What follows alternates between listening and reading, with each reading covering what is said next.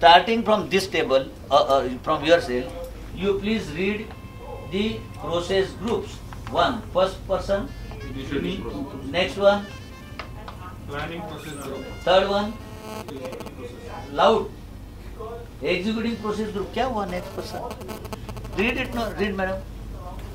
Monitoring and controlling process. No, executing was there, then monitoring, then closing. What did you see? All of them are ing.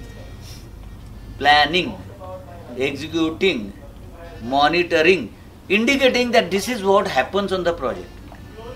First we, we do initiating. Generally after that we do planning. Generally after that we do closing, uh, uh, executing. Generally at the end we do closing. I am using word generally. Why generally you will see. And monitoring and controlling throughout. That is why these are process groups.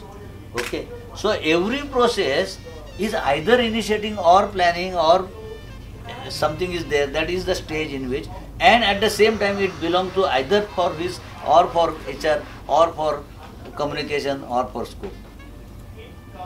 So the framers thought that how should I write project? Should I write five chapters, one chapter initiating? Then lot of messing will happen with knowledge areas. Can I write all only 10 knowledge area, 10 chapter? Then the foundation will not be covered. So introduce first three chapters.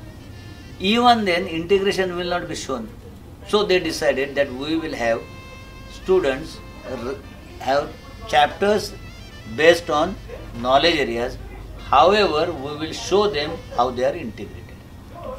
Okay, that is how the PMBOK is framed. Did you understand? This page number 16 is your Bhagavad Gita, Bible or Quran for next two months. Okay, this is what like every child will say Shubham Karoti Kalyanam in the evening. You will start saying scope management, cost management every evening. 10 minutes. This is the one. Okay, this is your knowledge. Do you know why? This is the most beautiful. You are saying beautiful? What is there beautiful? Lot of beauty is there. The first beauty you are saying is the PMI lexicon. Very simply arranged all this. Okay. Now secondly, I will tell you only on this many people ask, sir, how to remember these 47 processes? Oh. And that too for every pro- process there are input, output, tools and technique. And do you need to remember? Yes, you need to remember. Sir, how come? How will be? I tell you, this is the most easy thing. It's very logical thing. Do you know how to know input, output and tools and technique? Understanding them are very easy. I'll tell you, if the bus is coming from Mumbai via Ghatkopar going to Pune, can you answer where the bus is going? That is output. Can you tell me where from the bus is coming? Mumbai, that is input. And what is the device for going to Pune? Bus.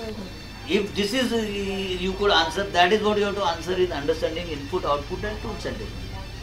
In, out, tools, outputs are the way where the documents, where we are trying to reach.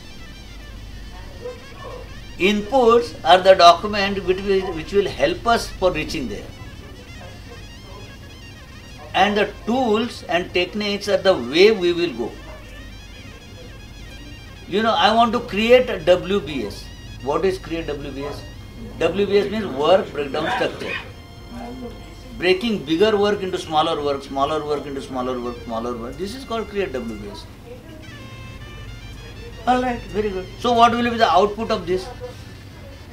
Create WBS, output will be what? WBS. Huh? You tell me, create Maruti, the output will be Ganpati? No.